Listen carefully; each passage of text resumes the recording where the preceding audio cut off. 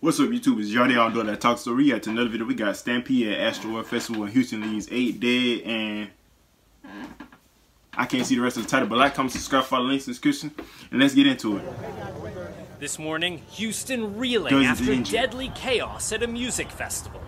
At least eight people killed and dozens injured when a crowd surged Damn. last night at the city's Astroworld Festival. One of those hurt, just 10 years old. At approximately Damn, 9 o'clock, wow, 9.15, the, the crowd began to, to compress towards the front of, of the stage. Okay, and that caused some panic and it started causing some injuries. People began to fall out.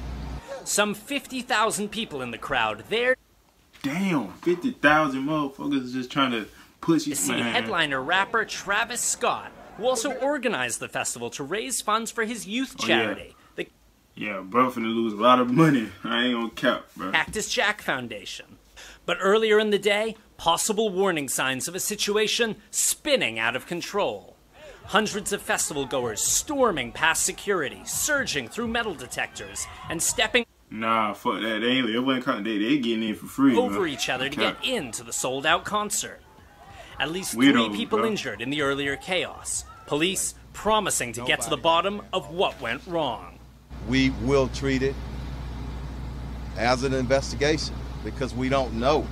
Authorities saying a mass casualty event triggered at 9:38 p.m. 17 people taken to hospital, 11 Damn. of them suffering cardiac arrests. More Damn. than 300 that's heart attack, treated on the scene. That motherfucking heart attacks, man. What the fuck? obviously a very extremely tragic night. People uh, uh, go to these events looking for a good time, a chance to unwind, um, to make memories. But no one ever wanting to leave 300 with injuries. memories like these. Now, we have not yet heard from Travis Scott or other festival organizers, but there are major questions still outstanding about whether this festival should have been allowed to go ahead given those injuries earlier in the day. No, hell no. They gotta cancel that shit tonight. Fuck that.